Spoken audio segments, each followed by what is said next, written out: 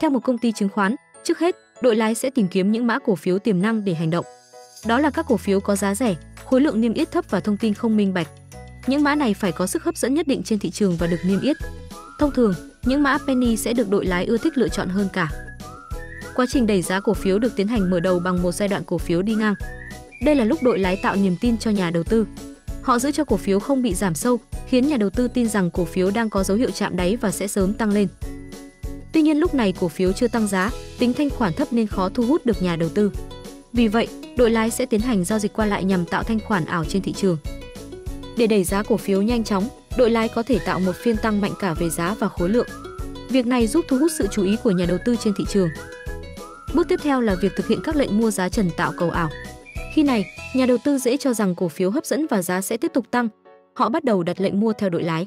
Nhưng vì lệnh mua của đội lái với khối lượng lớn chưa được khớp hết nên nhà đầu tư chỉ đua lệnh chứ không thực sự sở hữu được cổ phiếu. Khi giá đã tăng trần được vài phiên, lượng người mua giảm dần, đội lái sẽ bắt đầu hủy dần các lệnh mua trước đó.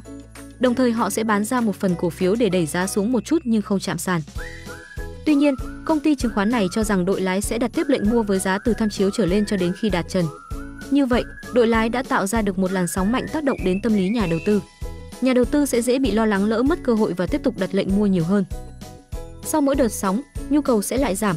Một số nhà đầu tư có thể thực hiện bán xả cổ phiếu. Đội lái khi này cần phân tích lại cung cầu thị trường. Nếu bên bán đang mạnh hơn, họ sẽ tiếp tục ghi giá xuống bằng cách dừng đặt thêm các lệnh mua. Nếu cung cầu đang cân bằng, họ sẽ để giá điều chỉnh một phiên rồi tiếp tục đẩy giá lên. Mục đích chính của bước này là để những nhà đầu tư đã vào lệnh không bán tháo cổ phiếu. Bước cuối cùng là đội lái tung ra những thông tin tích cực để tăng lượng mua vào nhiều nhất có thể. Khi đó, đội lái chỉ cần bán xả toàn bộ hàng mình đang có ra thị trường. Họ sẽ thả dần cho đến khi giá cổ phiếu không thể đạt trần.